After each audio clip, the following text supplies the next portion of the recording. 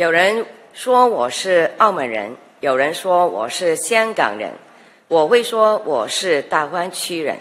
大湾区内九个城市加两个特区，大家同饮一江水，同享千年岭南文化，都喜欢吃皮蛋瘦肉粥，也都具备同样的吃苦耐劳的品德。其实，香港、澳门。与大湾区九个城市本来就是同根同源的一家人，手足之情时刻盘踞在心里。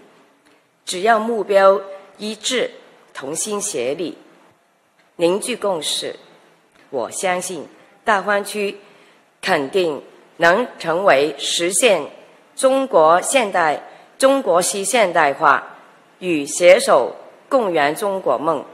起到非常好的展示作用。